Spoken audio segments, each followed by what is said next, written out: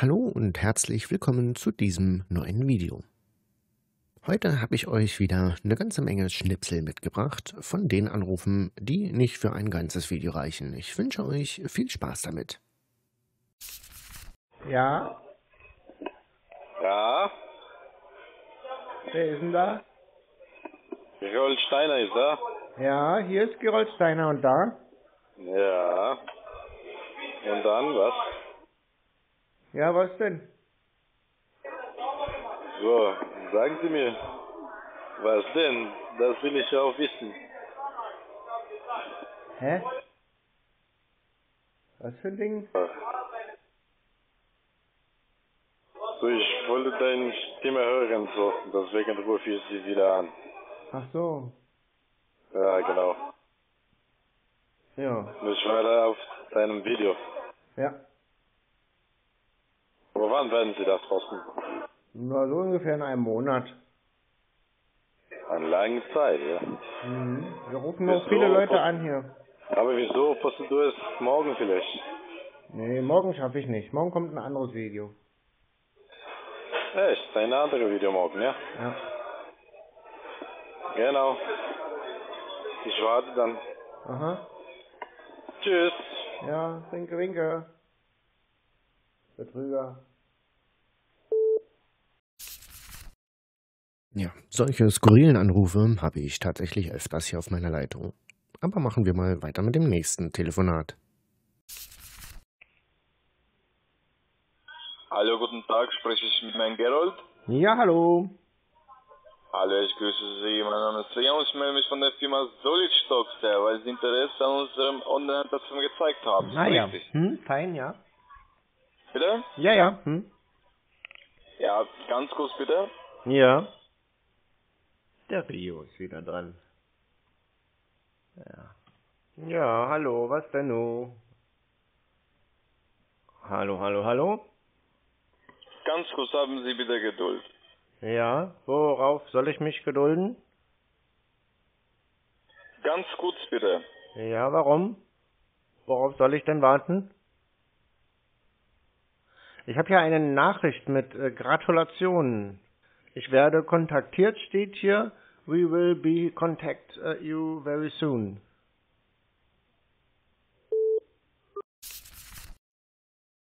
Tja, da wird er wohl mitbekommen haben, dass wir wohl schon mal miteinander telefoniert haben. Hm. Hätte man den Anruf vielleicht ganz sein lassen können, aber das ist wieder so ein Beweis dafür, dass die Calls bei denen automatisch hochgehen und die sich ähm, ja nur freischalten und dann der nächste Kunde oder ja das nächste Opfer in der Leitung landet. Ja, und dann muss er halt eben zusehen, wie er weitermacht. Und hier scheint es so, als wäre dann aufgefallen, dass er wohl schon das ein oder andere Mal mit mir gesprochen hat. Schönen guten Tag, Herr Steiner. Mein Name ist Michael Süßen von Bitcoin Profit. Ah, ja. Hm, Äh, Sie haben sich bei uns registriert, glaube ich, und äh, glaube ich zweimal, ne? das kann War sein. das richtig? Ja. und äh, Herr Steiner, wie dürfte ich Ihnen behilflich sein? Weiß ich nicht, ihr ruft mich doch an.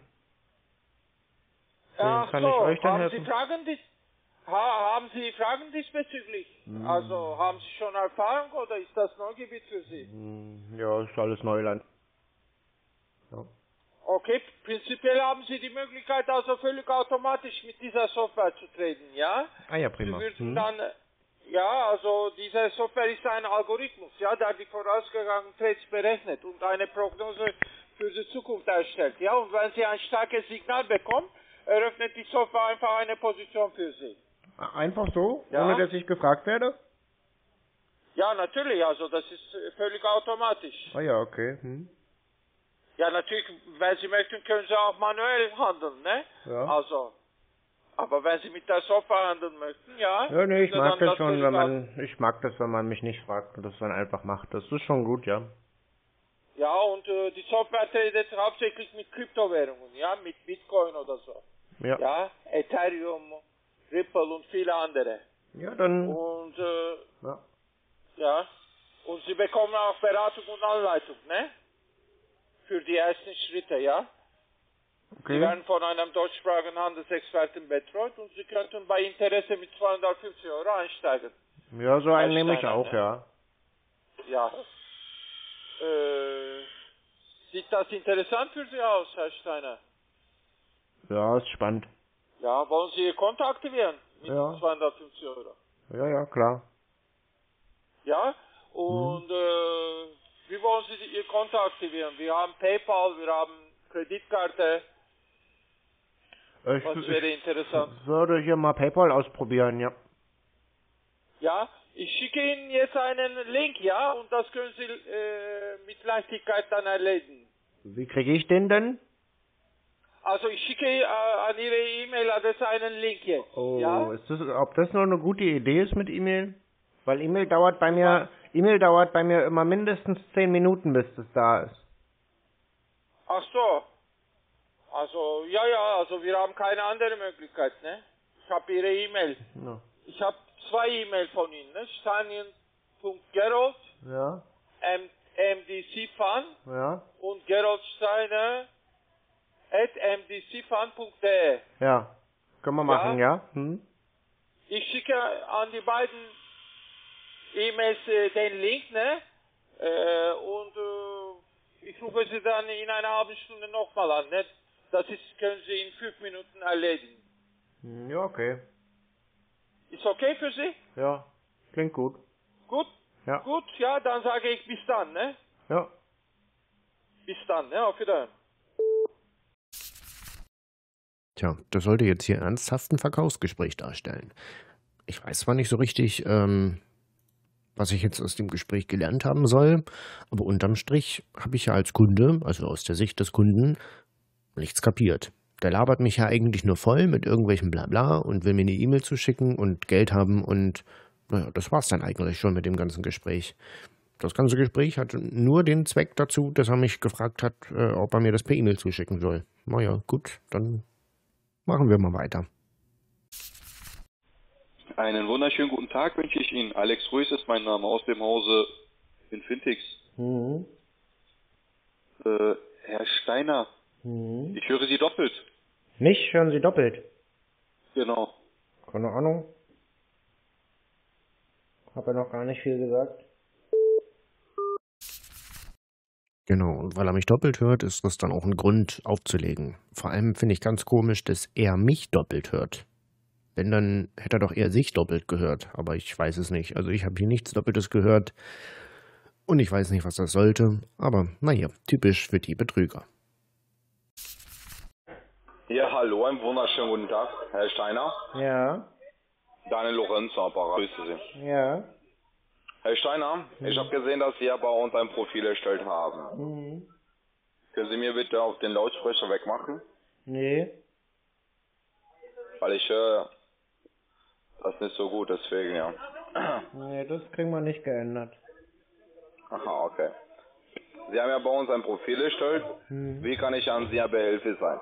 Hm, Weiß ich nicht, Sie haben mich doch angerufen. Wie wollen Sie mir denn helfen? Genau. Ob Sie ja irgendeine Frage haben. Weil Sie haben ja nur den Profil erstellt. Nach die Werbung, was haben Sie angeschaut? Ach so, nee. Das, äh, ich habe mich da erstmal angemeldet, ja, und dann bin ich auf Toilette Genau. gegangen. Mhm. Und dann? Ja, jetzt haben Sie schon angerufen. Okay, folgendes. Aber Sie waren ja einen Moment bitte. Was? Sie haben ja der, den Account geöffnet so gegen 9 Uhr. 9 Ja. Uhr 17. Doch. Ja. Ja, ja, ist richtig. Okay. Äh, Herr Steiner, mit was für einem Betrag würden Sie denn einsteigen? Was muss ich denn? Nee, äh, es muss ja nicht, es ist ja hier kein Muss, sondern falls Sie natürlich hier weiter profitieren wollen, beziehungsweise sobald Sie natürlich hier handeln. Ja, und das war ja das da, wo man hier so eine Million kriegen kann, stand ja da. Falls Sie Erfolg haben, ja, aber mit die Summe nein. Mit welcher Summe habe ich denn Erfolg? Erfolg, es ist ja natürlich nur der Mindestbetrag von 250 Euro. Ja, da stand, da kann ich mit äh, Millionen machen. Stand da in der Werbung. Es kann mal, aber sobald Sie natürlich, ich weiß nicht, was Sie ja natürlich jetzt handeln würden. Na, da stand garantiert. Garantiert mit 250 zum Millionär. Garantiert. Da stand garantiert, ja. Es steht ja natürlich die Garantie, dass für Ihres Geld ist. Herr Steiner, können Sie mir bitte wegtun von den Lautsprecher oder ich werde die auflegen? Nee, ich habe ja nur, also ich habe keinen keinen Arm, deswegen muss ich das auf Lautsprecher machen. Okay, dann haben Sie auch keinen Platz für hier. Hab Weil Sie werden ja natürlich verifiziert. Nee, Warum nicht? dann haben Sie ja, nee, dann haben Sie ja keinen Platz hier. Warum nicht? Ich nicht? Nee, Sie haben ja nicht die Möglichkeit hier, deswegen ja. Ja, aber warum? Weil Sie müssen ja verifizieren. Ja, kann So, ich doch ja trotzdem. Nein, Warum nicht? bei uns, nee. Warum darf man Ich mit, wünschte, warum darf man mit nur einem Arm bei Ihnen das nicht registrieren? weil wir, nee, weil wir sind ja ein lizenziertes Unternehmen und dann folgt die Kamera und deswegen haben wir natürlich hier Datenschutz, hier haben Sie nicht die Möglichkeit. Ich ja, bedanke das mich kann ich doch aber trotzdem, kann ich doch aber trotzdem machen. Okay, machen Sie es dann irgendwo anderes bei uns, bitte nicht. Oder können Sie auch ruhig irgendwo an, anderes anrufen. Wie meinen Sie bitte das? für die Störung. Also wollen, wollen Sie mich nicht Ciao, mit ciao. betrügen oder was? Tja, ist eigentlich ganz logisch. Ne? Also wenn ich nur einen Arm habe, dann darf ich da nicht mitmachen bei der Geschichte. Denn das geht ja wegen dem Datenschutz nicht. Ist der, ist der so doof oder ich weiß es wirklich nicht. Ich erzähle ihm, ich habe nur einen Arm und kann deswegen nur auf Lautsprecher telefonieren. Und der sagt mir, ja, dann kann ich nicht mitmachen. Kapiere ich irgendwie nicht. Und dann hat er mich ja angerufen, um mich zu fragen, ob ich irgendwelche Fragen habe. Auch das macht ja überhaupt gar keinen Sinn. Das ist immer wieder das Gleiche mit diesen Betrügern. Die stellen einen ganz dumme, plumpe Fragen, worauf man eigentlich überhaupt gar keine Antwort hat oder selber auch überhaupt gar keine Frage dazu hat. Ich verstehe es nicht. Also ich kann es wirklich nicht nachvollziehen, aber naja, scheinbar werden sie ja damit Opfer finden. Guten Tag, Alex Ruiz ist mein Name aus dem Hause Infintech. Ich spreche Gerold Steiner. Mhm. Wunderbar, ja, gerade eben war irgendwie die Verbindung weg. Ach Ähm, so. Herr Steiner. Ja, da hat Ja. irgendwer anders dann angerufen und der hat mich angepöbelt.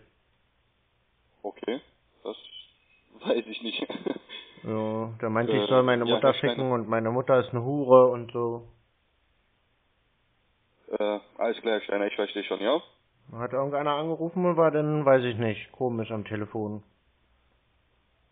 Alles klar. Ja, und was, was kann ich jetzt für Sie tun? Ich würde sagen, den haben wir erfolgreich überfordert und der wusste überhaupt nichts mit mir anzufangen und hat lieber ganz schnell aufgelegt, bevor er in irgendwelche Diskussionsnöte mit mir kommt. Naja, machen wir mal weiter. Und so besser? Ja, ich glaube ja. Okay, super. Dann versuchen wir bitte. Noch Jetzt höre ich Musik wieder. Hören Sie Musik? Ja, ich höre Musik und so mache ich auch nicht weiter, weil Musik hören nur Betrüger im Hintergrund. Moment mal bitte. Weil das habe ich bei YouTube gesehen. Da ist so ein Kanal und der erzählt immer, wenn da Musik im Hintergrund läuft bei einer Hotline, dann sind es Betrüger.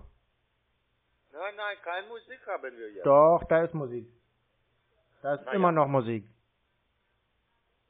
Dann verstehe ich nicht. Wir haben jetzt keine Musik. Nee, aber bei, bei Betrügern zahle ich kein Geld ein. Das mache ich nicht.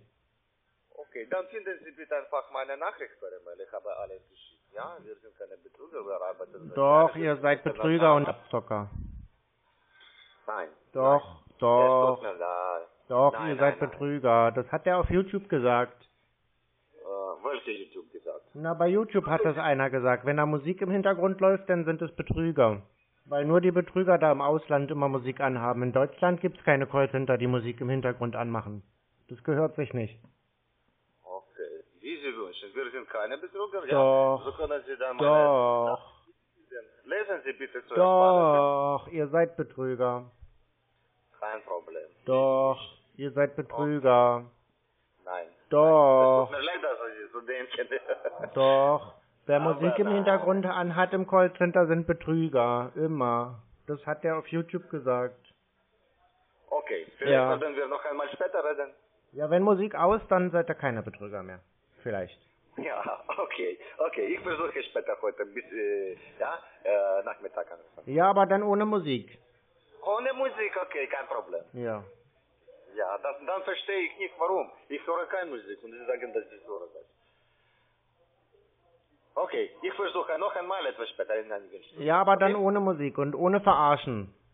Ja, okay, kein Problem, natürlich. Okay? Ja. ja? Tschüss. Okay. Tschüss, du Betrüger. Ja, genau. Angeblich läuft da wie immer keine Musik im Hintergrund, aber sie war ganz klar zu hören. Ihr hört die Musik hier weniger, dadurch, dass ich ähm, natürlich immer ganz, ganz viele Filter drüber laufen habe, wegen der Copyright-Rechte. Äh, ähm, auf YouTube ist es halt einfach nicht erlaubt, dass ich irgendwelche fremde Musik im Hintergrund abspiele, die mir nicht gehört oder wo ich eben einfach die Rechte nicht daran habe. Und naja, von dem her haben wir es ihm jetzt hier so ein bisschen schwer gemacht und ähm, so läuft es auch in letzter Zeit ziemlich oft bei mir ab. Denn, ähm, tja, in diesem Fall war es relativ einfach, die Musik rauszufiltern, aber ganz, ganz oft ähm, hat man da eben Probleme, dass man im Hintergrund dann den ganzen Krach hat. Und ähm, naja, da gehe ich halt gerne auf Nummer sicher und dann machen wir das Ganze eben einfach kurz mit diesen Betrügern. Aber unterm Strich ist ja jeder Anruf letztendlich Zeit geklaut. Mit deinem Vater, du kleiner Hundesohn. Oh. Hörst du jetzt auf oder soll ich vorbeikommen und deine Mutter ficken, du Bastard? Lass, hör doch nicht auf, Mann. werde nicht damit aufhören. Du Hundesohn, Alter. Warum? Bastard. Ich ficke deine Mutter. Wieso? Ist es doch nervig, dass da immer wieder was drinsteht bei euch? Könnt ihr dann keine anderen Leute betrügen? Außer deiner Mutter nicht, du Bastard. Und verpiss dich jetzt, hör auf Anmeldungen zu machen, du. Nein, mach Bevor ich dich finde. nicht. Ich werde mich noch ganz oft bei euch anmelden. Und zur Information, ihr könnt auch die Rufnummer sperren. Davon habe ich genug.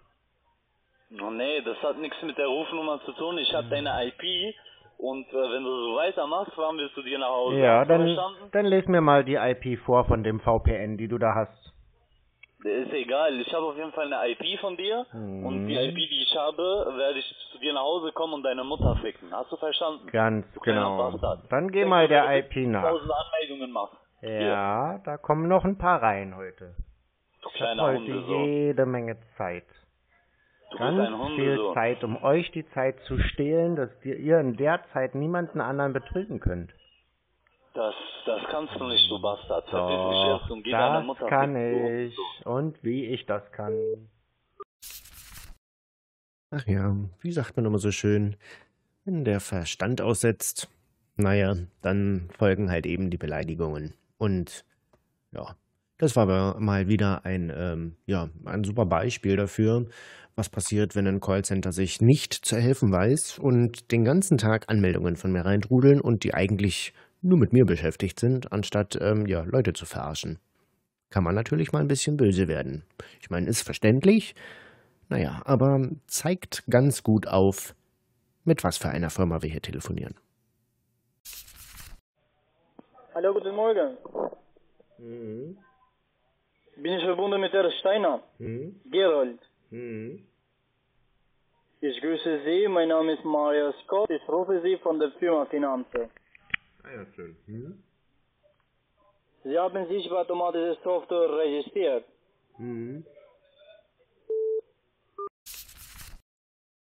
Ja, ich denke mal, hier bin ich vermutlich auch wieder ganz schnell aufgeflogen und man wusste nicht, was man mit mir anfangen soll. Also, anders kann ich mir das nicht erklären, warum der so schnell aufgelegt hat. Ja, hallo, guten Tag, Herr Stein. Guten Tag, mein Name ist Markus Hegemann von Golden Gates Global. Sagen Sie mir bitte, hätte, hätten Sie jetzt ein paar Minuten mit mir zu sprechen? Es geht um Finanz, ähm, Finanzmarkt, also Börsehandel. Ja, wenn es um äh, den Börsenhandel geht, dann hätte ich gerne, dass Sie als erstes die Diskothek im Hintergrund abschalten. Okay, also, ähm, Entschuldigung, äh, jetzt hätten Sie ein paar Minuten, weil ich habe Sie nicht gehört. Schlechte Verbindung, ein bisschen. Ja, ich sagte Ihnen, Sie sollen die Diskothek im Hintergrund abschalten. Dann können wir uns gerne miteinander unterhalten. Okay, entschuldigen Sie bitte, die Hintergrund, also jetzt ist es besser? Nö, die Musik läuft. Entweder ihr macht die Musik aus oder wir unterhalten uns hier nicht. Ah, okay, einen Moment bitte. Einen Moment. Ja, Bewegung. Entschuldigung, ist es jetzt besser? Besser. Entschuldigung.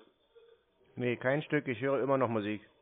Also, wenn wir hier Geschäfte machen wollen, dann ma- machst du jetzt die Musik aus, aber Also- pronto. Sofort die Musik aus!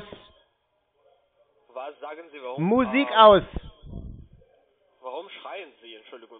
Weil es hier um Geldgeschäfte geht, da hört man keine Musik im Hintergrund oder was seid ihr für ein Lutscherverein? Musik aus! Aber pronto! Jo, das war dann der Moment, wo ich auch mal sauer werde. weil es geht wirklich gar nicht. Die immer mit ihrer scheiß Musik im Hintergrund und äh, wollen einem hier was verkaufen und wollen auf seriös tun, aber äh, dabei hört man die ganze Zeit eine halbe Diskothek im Hintergrund und äh, also eigentlich unfassbar, was die mit einem da veranstalten. Und die wollen einem ernsthaft was verkaufen am Telefon und von einem Geld. Ne? Also die wollen sich für eine Bank halten. Ja, und dann hat man da jedes Mal so eine halbe Diskothek. Also es, ja, das bringt mich auch mal zur Weißglut. Und jetzt habe ich für euch noch ein paar Anrufbeantworter-Schnipsel. Gerald Steiner.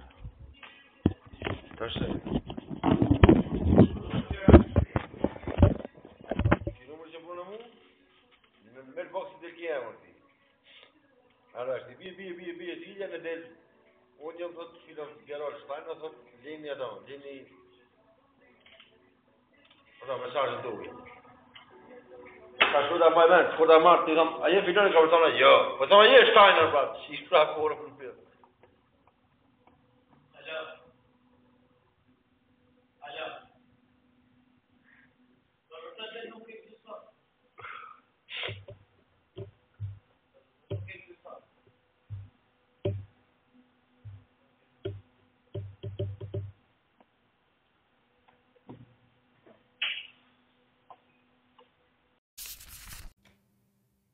Ja, das fand ich doch mal interessant. Auf jeden Fall wurde irgendwas über den Geröllsteiner im Hintergrund erzählt, und zwar auf Russisch. Vielleicht äh, ist wieder jemand bei euch dabei, der das Ganze mal übersetzen kann. Am besten dann äh, mit Zeitstempel, dass alle anderen, die das in den Kommentaren dann finden, eben auch zu der Stelle einfach mal springen können. Ne? Also wäre ganz super, wenn irgendjemand von euch das hier auf Russisch äh, oder das Russische auf Deutsch einfach mal übersetzen kann. Ich gehe mal stark davon aus, dass irgendjemand von euch ähm, Russisch können mag. Vermute ich mal. Wunderschönen guten Tag, Herr Steiner. Hier ist Roger Hansen. Ich habe Ihnen gerade ein E-Mail geschickt mit den Zugangsdaten für Ihr Kryptokonto und wie Sie ein Coinbase-Konto, Ihr private Coinbase-Konto öffnen kann. Äh, bitte E-Mail antworten. Wir können dann einen Termin machen für morgen, übermorgen, nächste Woche, wann es Ihnen passt. Ich wünsche einen schönen Tag. Ja, und den Schlaukopf haben wir tatsächlich auch schon mehrfach hier bei uns in der Leitung gehabt. Einmal hat er gleich aufgelegt, weil er gemerkt hat, oh, wir kennen uns wohl. Und einmal haben wir ziemlich lange telefoniert. Also dazu gibt es hier auch schon einen, äh, ja, ein volles Video. Ich glaube, es ging auch rund eine ganze Stunde mit dem Trottel vom Dienst. Ähm, jetzt hat er hier nochmal auf dem Anrufbeantworter gesprochen. Also, das ist auf jeden Fall komisch, dass immer wieder die Leute für den Herrn Steiner anrufen und vor allem auch immer wieder die gleichen Leute, obwohl sie doch wissen, dass sie hier von mir schon bereits verarscht wurden. Also, ich kann es nicht nachvollziehen, aber irgendwie lernen die Callcenter scheinbar auch nicht daraus. Tja. 2.531.876 Ihre PIN 2630 zur Bestätigung hier klicken https www.phonify.me a.php Fragezeichen 339479998 Sie haben eine Textnachricht von PHONIFY nie erhalten. Die Nachricht lautet, Ihr Mastercard Voucher 2.531.876 Ihre PIN 2630 zur Bestätigung hier klicken. https www.phonify.me a.php Fragezeichen 339479998 ja, und was das hier für ein Blödsinn war, ich habe wirklich keine Ahnung, aber ich habe es auf meinem Anrufbeantworter gefunden und dachte mir, ich zeige euch das Ganze hier auf jeden Fall auch mal, weil ja, weiß nicht, was das für eine Masche sein soll. Auf jeden Fall war es ja irgendein Kreditunternehmen wahrscheinlich. Ich weiß es nicht. Ich hoffe, euch hat die neue kleine Schnipselparty gefallen. Wenn ja, dann zeigt es mir gerne wie immer mit einem Daumen nach oben. Ansonsten freue ich mich äh, natürlich auch immer, wenn ihr den Kanal abonniert, sofern ihr das noch nicht getan habt. Ja, und jetzt findet ihr hier noch die Playlist mit allen anderen Videos von mir. Ich bedanke mich fürs Reinhören. Bis zum nächsten Mal. Ciao, ciao.